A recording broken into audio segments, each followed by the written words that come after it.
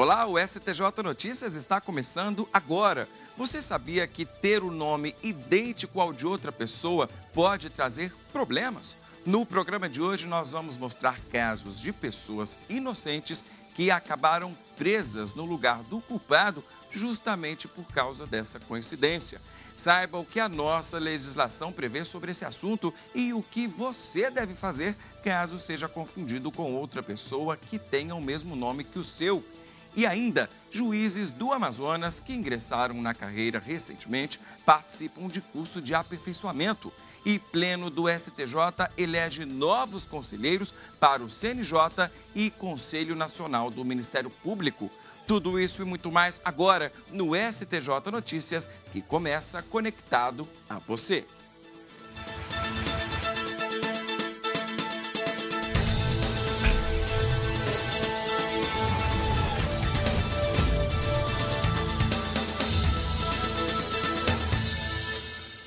O Pleno do Superior Tribunal de Justiça elegeu os nomes de três novos conselheiros: dois para o CNJ, o Conselho Nacional de Justiça, e um para o Conselho Nacional do Ministério Público, o CNMP. Daldice Maria de Almeida, desembargadora do Tribunal Regional Federal da Terceira Região, e o juiz federal Fernando César de Matos foram indicados para o Conselho Nacional de Justiça. Já o juiz Sérgio Ricardo de Souza foi eleito para o Conselho Nacional do Ministério Público. Pela primeira vez, os magistrados interessados em concorrer aos cargos puderam se inscrever no processo seletivo. O método adotado pelo STJ torna a escolha mais democrática e transparente. Agora, os nomes dos indicados serão encaminhados ao Senado Federal para aprovação. Se forem aceitos, serão nomeados pela presidente Dilma Rousseff. A Corte Especial rejeitou reclamação apresentada pela defesa de José Geraldo Riva, ex-deputado estadual pelo PSD de Mato Grosso. Ele é acusado de fazer pagamentos indevidos a empresas enquanto era responsável pela gestão financeira da Assembleia Legislativa do Estado entre os anos de 2005 e 2009. O ex-deputado foi apontado como líder de uma organização criminosa que teria se instalado na Assembleia Legislativa para desviar recursos públicos. O juízo de primeira instância processou uma ação penal de improbidade administrativa contra o ex-deputado e decretou a prisão preventiva dele. No Superior Tribunal de Justiça, a defesa de José Geraldo Riva questionou a decisão, afirmando que a competência para processar a ação seria do STJ. O relator do caso na Corte Especial, ministro Humberto Martins, disse que não há como reconhecer um desvio de competência, já que caberia ao Ministério Público Federal oferecer a denúncia perante o Superior Tribunal de Justiça. O filho de um paciente de 70 anos que morreu após cirurgia em um hospital conseguiu no STJ indenização por danos morais. Ao analisar o recurso contra a decisão do Tribunal de Justiça do Rio de Janeiro, os ministros da terceira turma do STJ reconheceram a responsabilidade do hospital ao identificar erros no serviço e no procedimento cirúrgico. Quem tem as informações é o repórter Rafael Porfírio. O idoso morreu depois de passar por uma segunda cirurgia no hospital devido ao deslocamento de uma prótese no quadril. De acordo com o laudo pericial, isso aconteceu por causa de uma falha dos enfermeiros no procedimento de transferência do paciente da mesa de cirurgia para a maca. Ao pedir indenização por danos morais na justiça, o filho alegou que o hospital não ofereceu a devida segurança ao pai. Mas o Tribunal de Justiça do Rio de Janeiro concluiu que não houve erro da equipe médica. O recurso do filho foi analisado aqui no STJ pelos ministros da terceira turma. O relator do caso, o ministro Paulo de Tarso Sanseverino, afirmou que não se pode admitir que o deslocamento de uma prótese no quadril na transferência de mesa para maca na primeira cirurgia e a perda de sangue na segunda cirurgia sejam considerados fatos naturais. A indenização foi fixada em mais de 300 salários mínimos e ainda tem os juros e a correção monetária o Superior Tribunal de Justiça considerou legal a contratação de 200 funcionários temporários sem concurso público para a Agência Nacional de Saúde Suplementar, ANS. A contratação foi questionada pelo Sindicato Nacional dos Servidores das Agências Nacionais de Regulação. A entidade queria anular a portaria dos Ministérios do Planejamento e da Saúde, que autorizou a contratação, mas o relator do processo na primeira sessão do Superior Tribunal de Justiça, ministro Benedito Gonçalves, destacou que a administração demonstrou acúmulo de trabalho e demanda crescente, que não poderiam ser atendidos pelos atuais servidores. Além disso, não há cargos vagos ainda e a espera pela eventual realização de um concurso poderia acarretar prejuízos tanto para os cofres públicos como para a sociedade. A sessão negou, portanto, o mandado de segurança por unanimidade de votos. E veja daqui a pouco o que fazer se você for confundido com outra pessoa com o mesmo nome. Vamos conhecer casos de inocentes que acabaram presos no lugar de um culpado por causa dessa coincidência. Não saia daí, eu já volto.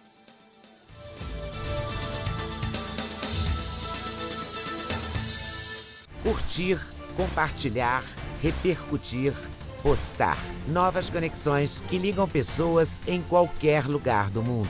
Cada vez mais conectado, o Brasil é o quarto país em número de usuários das redes sociais. Sempre inovando, o Superior Tribunal de Justiça conquista milhares de seguidores na internet. A marca é resultado da linguagem simples, atraente e acessível no Twitter, no Facebook e no YouTube. Onde tem o nome do STJ, tem informação segura, confiável, tem cidadania. No Facebook, milhares de pessoas levaram a página do STJ ao primeiro lugar entre os tribunais mais acessados no mundo. No YouTube, novos programas, entrevistas, documentários e reportagens especiais. E no Twitter, informação curta, rápida, atualizada. YouTube, Twitter, Facebook, o Superior Tribunal de Justiça acredita nas redes sociais e leva a cidadania até você. Superior Tribunal de Justiça, o Tribunal da Cidadania.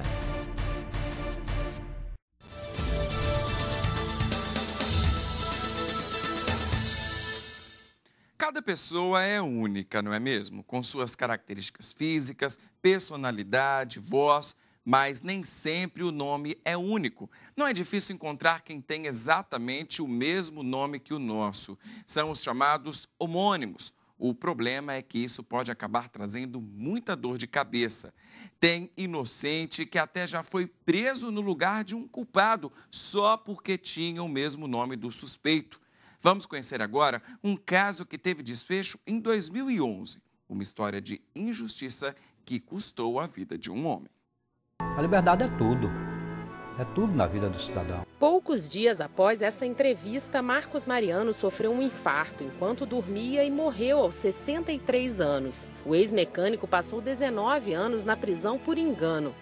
Marcos Mariano foi preso pela primeira vez em 1976, acusado de assassinato. Ele ficou seis anos na prisão e só conseguiu ser libertado com a confissão do verdadeiro assassino. Mas acabou preso novamente por engano. Nessa segunda passagem na cadeia, contraiu tuberculose e ficou cego após ser atingido por estilhaços de uma bomba de gás lacrimogênio. É horrível, foi triste. Até hoje eu estou quebrando a cabeça. A liberdade definitiva só veio 13 anos depois. A partir daí, Marcos começou outra luta, a busca por reparação. Em primeira instância, ele teve reconhecido o direito a uma indenização de 356 mil reais. O Tribunal de Justiça de Pernambuco elevou a quantia para 2 milhões. Na época, aproximadamente metade da quantia teve que ser paga, mas o governo de Pernambuco recorreu da decisão no STJ. A condenação foi mantida pela primeira turma. Em 2006, o Superior Tribunal de Justiça já havia declarado o caso como o mais grave atentado à dignidade humana já visto no Brasil. O relator do caso na época foi o ministro Teori Zavascki. É uma morte em vida. Isso nós salientamos. Ele sofreu a sua própria morte todos os dias, durante anos e anos e anos. Em 2009, foi aprovada a Lei 11.971 com o objetivo de diminuir as chances de uma pessoa ser confundida com outra. Ela estabelece que documentos como certidões de ações cíveis e criminais, de execução fiscal, de falências ou concordatas, de protestos e negativa de propriedade tragam dados completos, como nome completo da pessoa sem abreviações, data de nascimento, número da identidade do CPF, nacionalidade, nome dos pais estado civil e endereço. A lei determina ainda a publicação pelos cartórios em todas as certidões dos dados completos dos condenados. Um cuidado que se deve ter para evitar esse transtorno para as pessoas que têm mesmo nome é o de se cobrar na, no ingresso da ação judicial mais elementos que apenas o nome. É, exigir que o autor de uma ação judicial identifique a parte não somente pelo nome dela. Eu, que eu diga no, na minha ação, na minha petição inicial, que o autor diga na petição inicial, que a ação é movida contra. Aí ele diz o nome completo do réu e algum outro elemento de identificação desse réu. A lei não impediu mais uma injustiça. Comerciante Gilson de Oliveira ficou 35 dias preso em Brasília após ser confundido com dois homens de mesmo nome, um do Mato Grosso e outro de Pernambuco, que estavam com as prisões decretadas. Na época eu perdi muito porque eu trabalhava com a empresa, inclusive até eu sair, abrir a minha, né? É, porque eu, eu trabalhava numa empresa, tinha muito serviço começado, muito serviço grande mesmo começado e eu perdi tudo, porque eu fiquei lá e as pessoas, os donos do serviço, precisavam que terminasse o serviço. Muito ruim, foi uma das piores coisas mesmo que eu já passei na vida.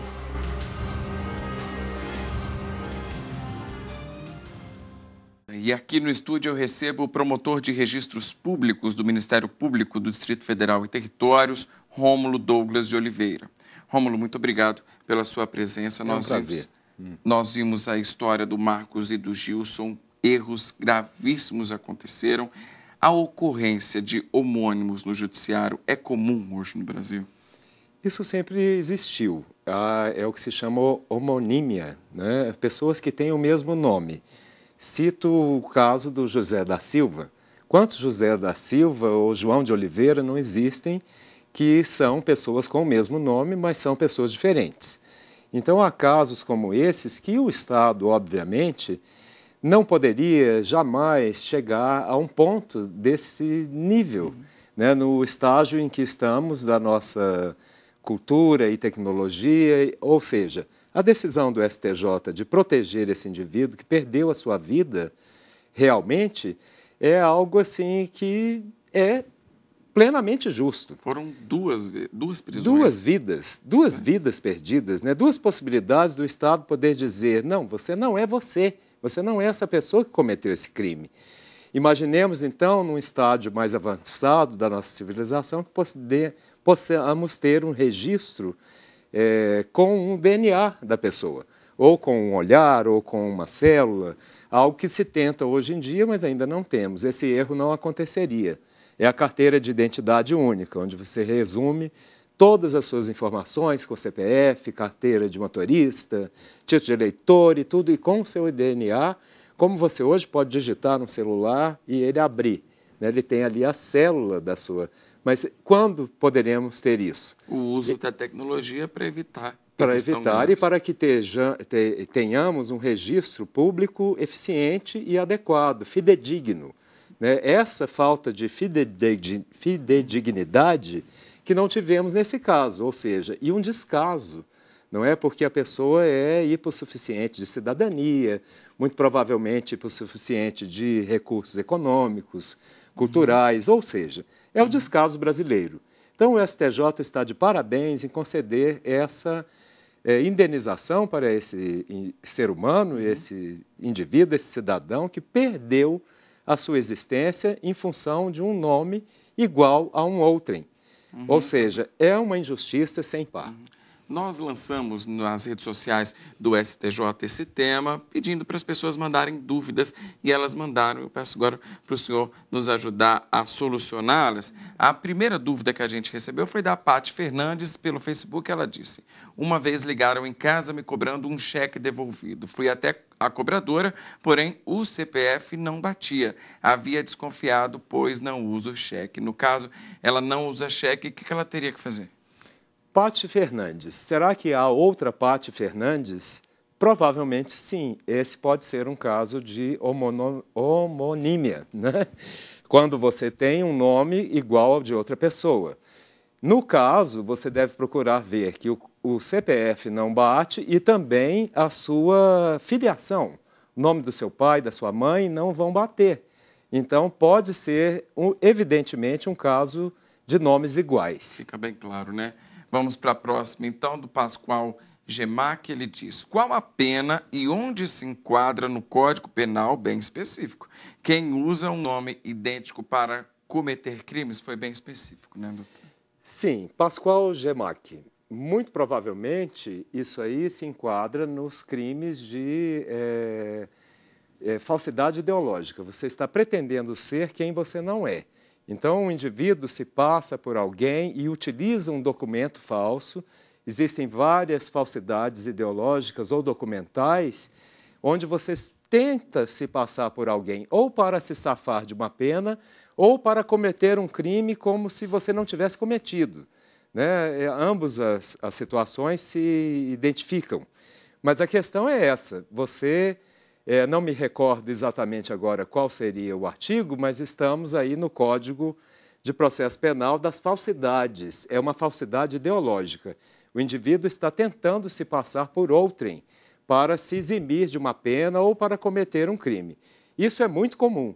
Inclusive, já tivemos episódios na vara de registros públicos de pessoas que já tiveram mais de 10 nomes para se safar de inúmeros crimes. Isso é muito comum com estelionatários.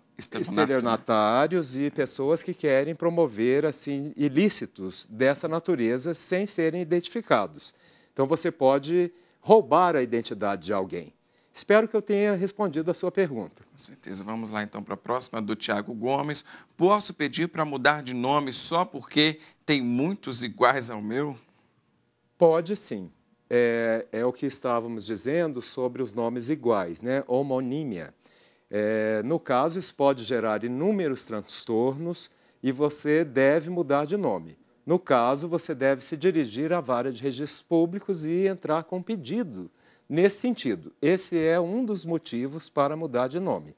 Há transtornos assim sem é, par nessa área, de pessoas que são cobradas indevidamente, pessoas que são é, acoimadas de serem mal, maus pagadores, de dívidas na receita, ou esse caso que ilustramos agora, que é desse indivíduo que foi preso por vários anos, como se e ninguém deu conta disso, né?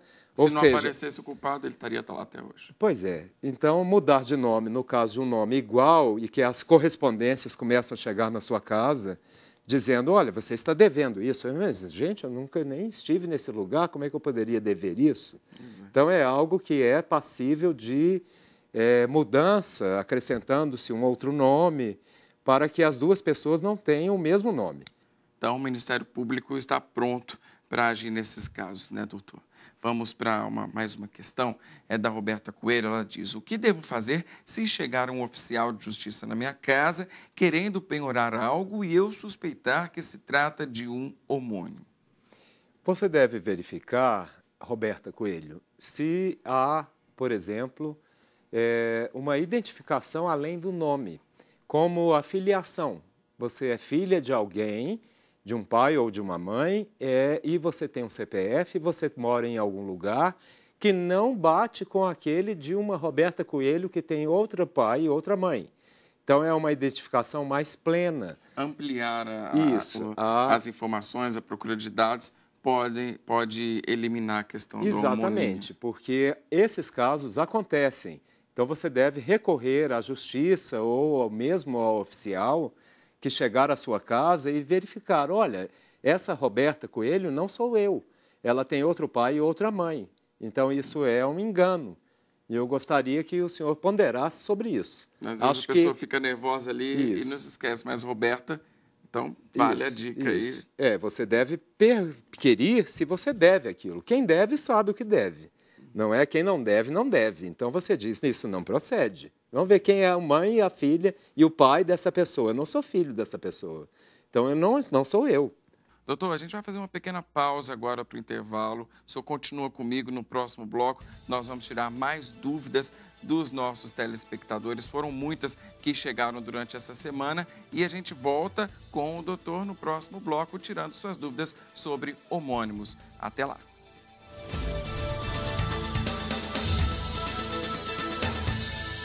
Curtir, compartilhar, repercutir, postar. Novas conexões que ligam pessoas em qualquer lugar do mundo.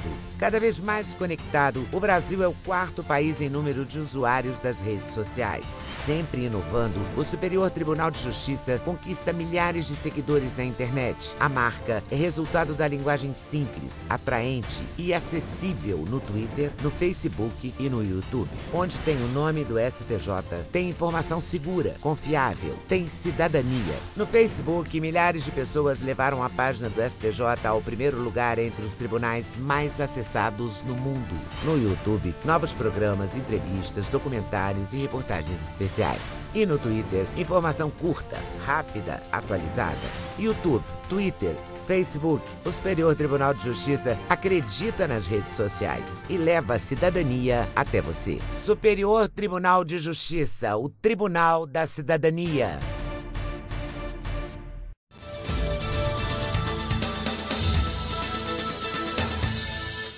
Estamos de volta com o STJ Notícias e aqui no estúdio eu continuo com o promotor de registros públicos do Ministério Público do Distrito Federal e Territórios, Rômulo Douglas de Oliveira. Nós estamos conversando sobre homônimos, que é quando duas pessoas têm nomes idênticos. Doutor, foram muitas dúvidas e eu já começo esse segundo bloco indo para a próxima dúvida que também chegou pelas nossas redes sociais do Armando Fonseca. O Armando diz: Pais podem colocar os mesmos nomes nos filhos, tornando-os homônimos?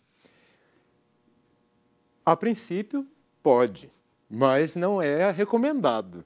É, isso contraria, inclusive, a lei de registros públicos, que diz que o pai deve, o escrivão deve preservar ah, o, o nome daquele que vai ser registrado, né? daquele que nasceu ou do filho desse, dessa criança. Mas nesse caso, o nome, o primeiro nome é, geralmente a gente vê isso. É. O que acontece, a mudança é no sobrenome, né? É, se tiverem todos os nomes iguais, eles terão, serão homônimos. Né? Então, por exemplo, José da Silva. Tem dois José da Silva na mesma família, ou três. O escrivão, por prevenção, por cautela, ele deve recomendar ao pai que não faça isso. É como o pai que vai chegar no filho e, e colocar o, o nome de Astrogildo, uhum. é, Hitler Mussolini. Nomes um, exóticos. Um, dois, três de Oliveira quatro. Ou seja, existe. existem. Uhum. Então, o escrivão é advertido pela própria legislação, a lei de registros públicos, para que ele faça essa curatela uhum. no momento de registrar o indivíduo. É bom ter cautela sempre, né, é, doutor? Nomes esdrúxulos e nomes iguais, por exemplo. Ele deve aconselhar a esse pai para não fazer isso. Tá certo. A próxima é do Yvson Samabouk. É, ele diz: a diferença de uma letra no registro, como Ulisses da Silva e Ulisses da Silva, no caso aqui muda a grafia de I para Y, por exemplo, torna pessoas homônimas? Praticamente, né? O Y e o I são grafias praticamente é, da, da, mesma é idêntica, fonética, né? né? Que é o I. Agora, como disse no início, você deve procurar a identificação completa do indivíduo.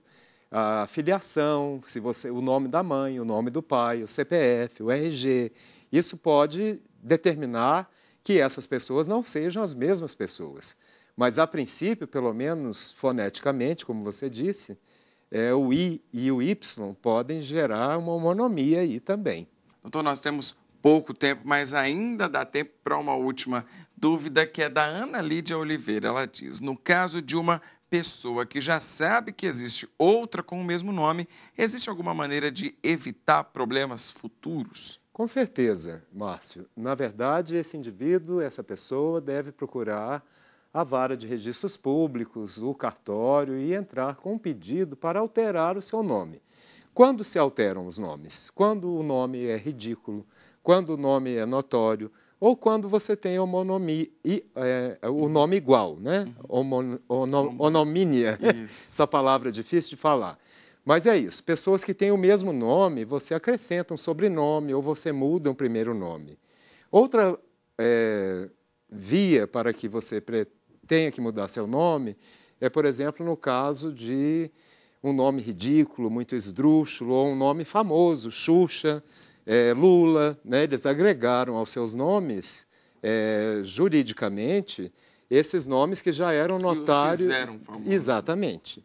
Então, a, a, o nome igual, né, ele também é suscetível de alteração por conta dos transtornos que o indivíduo pode sofrer, como nós vimos nessa matéria. Doutor, muito obrigado pela presença do senhor no nosso programa. Eu conversei com o doutor Romulo Oliveira, ele que é promotor de registros públicos civis aqui do Distrito Federal. Mais uma vez, obrigado, doutor. Muito obrigado, Márcio. Eu agradeço muito a audiência. Espero que tenha ajudado e contribuído com os STJ. Certo. Até a próxima. Então. Até a próxima. E a Escola Nacional de Formação e Aperfeiçoamento de Magistrados promoveu a terceira edição de 2015 do curso de formação inicial, destinado a juízes que acabaram de ingressar na carreira.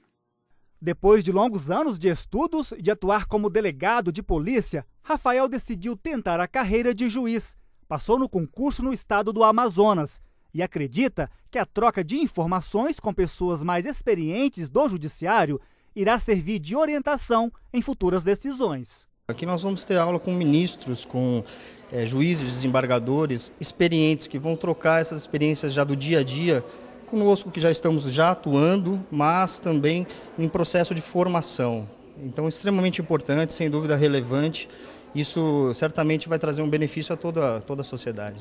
A participação nas aulas do curso de formação inicial, promovido pela Infam, é obrigatória para os novos juízes.